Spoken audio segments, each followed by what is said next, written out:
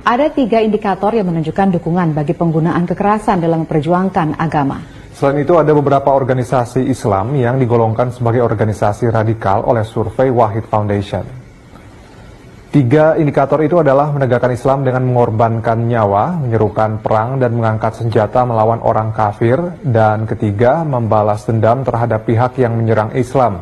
Sementara itu organisasi Islam yang terbukti menggunakan kekerasan dalam mencapai tujuannya antara lain ISIS, Jamaah Islamiyah Al-Qaeda, HTI, FPI, DI atau NII, JAD dan Laskar Jihad.